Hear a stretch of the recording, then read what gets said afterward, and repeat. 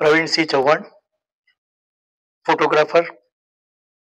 આ ફોટોગ્રાફીનો વ્યવસાય શરૂઆતમાં વ્યવસાયિક ફોટોગ્રાફી શરૂ કરી હતી અને પછીથી આવી રીતે આર્ટના ફોટોગ્રાફ પાડવાનું શરૂ કર્યું, આઉટિંગમાં બહાર જવાનું, લોકોની સંસ્કૃતિ, કલ્ચર, આપણું, એ બધું મારે ફોટોગ્રાફીની અંદર સમાવેશ કરવાનો મેં પ્રયત્ન કર્યો છે.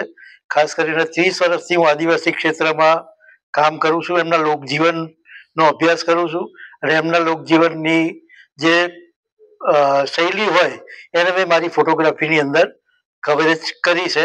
અને મને નેશનલ એવોર્ડ બે વખત અને બીજા આંતરરાષ્ટ્રીય, રાષ્ટ્રીય આંતરરાષ્ટ્રીય એવોર્ડ અનેક એવોર્ડ ફોટોગ્રાફી ક્ષેત્રે મળી ચૂક્યા છે.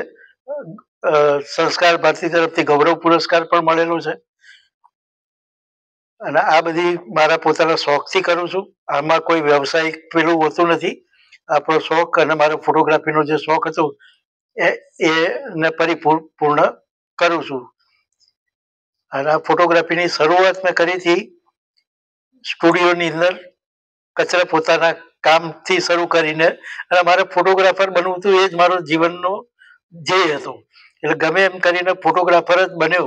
અને છેલ્લા પિસ્તાલીસ વર્ષથી ફોટોગ્રાફી ક્ષેત્રમાં જ કામ કરું છું. અને ઘણા બધી નામના અને એવોર્ડ્સ મને ફોટોગ્રાફી ક્ષેત્રમાં મળ્યા છે. આ ફોટોગ્રાફી સુંદર અને સરસ દેખાય છે એ મહત્વનું તો છે જ. પણ આ બધા ક્ષેત્રની અંદર જવું અને આજે તો બધું ઘણું સારું થઈ ગયું છે. પણ વીસ પચીસ વર્ષ પહેલા આપણને બીક લાગે અને ક્યારેક આપણને માર પણ પડે અને કેમેરા બી તોડી નાખે ફોટોગ્રાફ પાડવા પણ ના દે, શેના માટે ફોટા પાડો છો, કેમ છો, કેમ નહીં, એ એ બધા ઘણા પ્રશ્નો એની અંદર ઊભા થતા હતા. એક વખત રૂમડિયાના મેળામાં, અમે કવાટના મેળામાં ફોટો પાડતા હતા, ત્યારે સીધે સીધો શેરડીનો સાઠો માર્યો અને ત્યાંથી ખસી જવા કીધું. અને ત્યાંથી ભાગીને અમે દાહોદ આવતા રહ્યા, ત્યાં રાત રોકાયા. અને પછી વીસ વર્ષ પછી ફરીથી હું એ જ ગામની અંદર ફરીથી ગયો.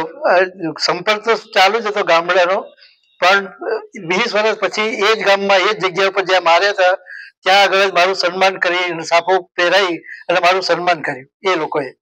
એટલે એ પણ એક બહુ મોટી વાત છે, અને બધું બહુ જોખમી ક્ષેત્ર છે આ જેટલું સરળ છે, એટલી ફોટોગ્રાફી સરળ નથી, બહુ અઘરું છે આ કામ કરવું.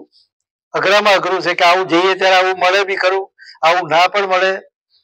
એમના તહેવારો છે બધું ઘણી બધી વસ્તુઓનું કલેક્શન છે મારી પાસે.